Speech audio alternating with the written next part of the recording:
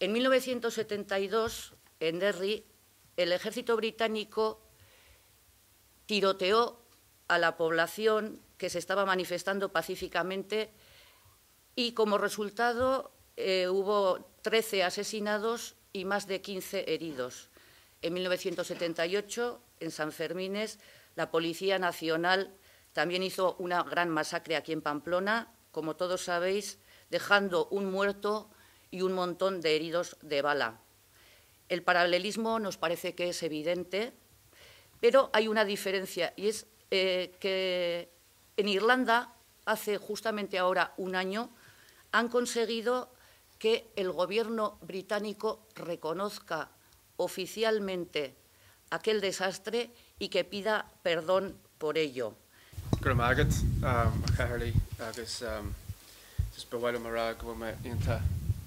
Sasta fihin seo agus um, tá sin mar empezado en, en, irlandés dando las gracias y diciendo que, es, que están muy contentos de estar hoy aquí, que es un honor eh, para los tres estar hoy en Iruña, en Euskal Herria. Eh, tal y como entienden ellos, el objetivo principal de esta visita es eh, comparar las experiencias de Derry 1972 y de Iruña 1978 eh, y aprender en lo posible los unos de los otros en particular en cuanto que desde Iruña se, se, entiende que ha habido la diferencia que ha marcado Miren antes con la Comisión de Investigación y de la Verdad. Um, in 1972. I would also like to address the um, talk about the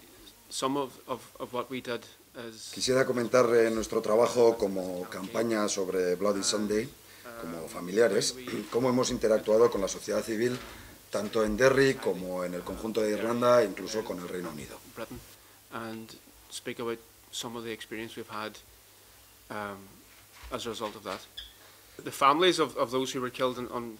Los familiares de los asesinados en Bloody Sunday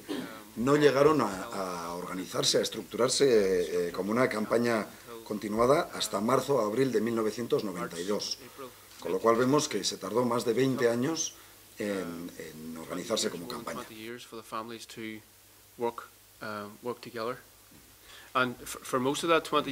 Durante esos 20 años, hasta el año 92, los sucesos de Bloody Sunday eh, estaban categorizados o caracterizados dependiendo de la percepción política de cada persona o de cada comunidad.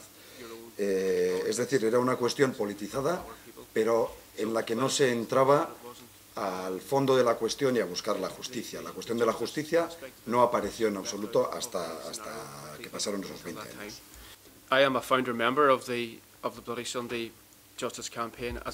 El papel de Tony Doherty en la, en la campaña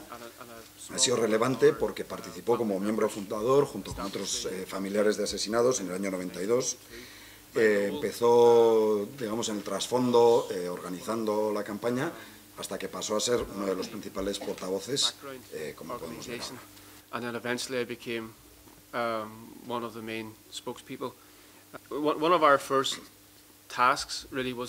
identifying. Cuando empezaron a trabajar como campaña de Bloody Sunday, la, la campaña por la justicia de Bloody Sunday, los primeros pasos se centraron en tratar de, de identificar, de ver cómo percibía eh, la sociedad civil, eh, los sucesos del Bloody Sunday, eh, cómo era posible que se hubiera ignorado la cuestión de la justicia durante tanto tiempo. Y empezaron, lógicamente, en, en el plano local, similar a lo que ocurre aquí en Iruña, se dirigieron al Ayuntamiento de Derry para tratar de, abrir una comisión de la verdad allí y, aunque parezca mentira, el Ayuntamiento se negó. Entonces hay que entender que, que, bueno, que no hay que sorprenderse demasiado cuando se, se sufren reveses de este tipo. Se encontraron con, dificultades a la hora de explicar que su campaña era una campaña que buscaba la justicia para los asesinados de, de Bloody Sunday, que era una campaña centrada alrededor de los familiares, puesto que había mucha gente que, que, veía su campaña desde su propia perspectiva política, desde su propia concepción del conflicto en Irlanda, y percibía la campaña como una amenaza para el status quo, tanto en Derry como en los seis condados del norte de Irlanda, como en toda Irlanda y, respecto al Reino Unido. Había gente que directamente decía que la campaña por la justicia en Bloody Sunday no era más que una tapadera del IRA o del Sinn Féin. Eh, para Tony, Tony Doherty estas acusaciones no eran insultantes, eran incorrectas, pero había familiares y miembros de la campaña para quien era una acusación eh, eh, muy difícil de sobrellevar. Por lo tanto, es importante que ellos eh, insistan en presentar y en explicar que, la campaña por la justicia en Bloody Sunday es una oportunidad de hacer justicia, es una oportunidad de corregir las equivocaciones de la historia, las cuestiones que se han cubierto durante la historia, y es también una oportunidad para tratar de, de sobreponerse dentro del proceso de paz a uno de los episodios más terribles eh, que ocurrieron durante el conflicto. Como ha dicho, al principio de su campaña tanto el, Ayuntamiento de Derry se, eh, se, negó a aceptar sus propuestas, la Iglesia Católica de Irlanda no quería reunirse con ellos, el gobierno irlandés tampoco, pero perseveraron en sus esfuerzos, continuaron luchando y al final todas estas instituciones eh, pasaron a apoyar la campaña por la justicia en Bloody Sunday en cierto sentido tuvieron suerte de que su campaña coincidiera en el tiempo con el, con el proceso de paz, porque esto causó que eh, muchas instituciones, mucha gente a quienes les, caían mal, quienes eh, se colocaban en, el campo contrario, digamos, políticamente, llegaran a reunirse con ellos, a escucharles y ellos pudieran explicar que, que, su campaña era muy importante para ellos desde el punto de vista personal, pero también para el pueblo de Derry, eh, sobre quien se había mentido sistemáticamente durante muchos años en la prensa, en los libros de historia, etc. Y era importante a su vez para las relaciones a futuro entre el pueblo irlandés y el pueblo británico. En ese sentido, para la campaña de Bloody Sunday, los beneficios eh, políticos de el hacer aflorar la verdad eh, eran mucho mayores que cualquier posible consecuencia negativa que pudiera tener. Y de hecho, esto es lo que han comprobado con el tiempo. Um, so, the our campaign was never about threatening. It was, it was never a threat. Um, we were Por lo tanto, eh, consideran que, que, su campaña no, no constituía, constituía ninguna amenaza hacia nadie. Al contrario, como se ha visto a través de su, de su éxito, esto ha ayudado a transformar las relaciones eh, personales y políticas entre eh, la gente que vive en la isla de Irlanda y la, la gente que vive en la, isla del, Reino Unido, eh, entienden que todo el mundo tiene el derecho a, a la verdad y especialmente las, eh, las, víctimas de la violencia de los estados se encuentran en una situación eh, muy difícil, puesto que ahí está la responsabilidad del Estado y por lo tanto realmente solo es el Estado, solo son los gobiernos que han asesinado a sus propios ciudadanos los que pueden, eh, los que tienen la llave final para eh, responsabilizarse, son el único agente que, pueden acabar, que puede acabar de, de, de, destapar la verdad.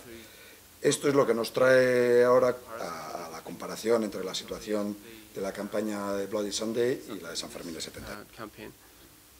Yeah, and, and there are two important dates really um, before hay que recordar aquí, eh, por terminar con esta parte de la exposición, dos fechas importantes. La primera es eh, enero de 1998, eh, cuando el gobierno británico eh, aceptó abrir una segunda comisión de investigación acerca de los sucesos del de, Domingo Sangriento, puesto que en el año 72 había habido una comisión de investigación, pero que prácticamente todo el mundo entendía como un lavado de cara y poco más. Entonces, primera fecha, enero del 98, cuando se abre esta segunda eh, comisión de investigación. Segunda fecha muy importante, el 15 de junio del año pasado, el 15 de junio del 2010, eh, cuando se publicó el informe final de esta segunda comisión de investigación, que exoneraba a las víctimas del Domingo Sangriento de Derry, que responsabilizaba a los soldados británicos de haber llevado a cabo eh, asesinatos ilegales y con una importancia política muy grande en cuanto esta publicación de la verdad no causó que implosionara el Estado británico, ¿eh? no causó que se desmoronara el Estado británico, sino que, al contrario, eh, la campaña de Bloody Sunday entiende que quizás los mayores beneficios políticos han sido para el propio Reino Unido, cuando al final ha reconocido